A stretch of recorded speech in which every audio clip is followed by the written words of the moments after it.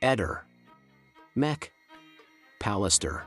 Un uomo è stato ucciso a Napoli, nel quartiere di San Giovanni a Teduccio. Si tratta di Salvatore Coppola, un ingegnere di 66 anni nonché ex collaboratore di giustizia. In passato viveva sotto regime di protezione ed era tornato nella sua città e nel suo quartiere d'origine di recente. L'uomo sarebbe stato vittima di un vero e proprio agguato ed è stato ucciso con dei colpi d'arma da fuoco al volto.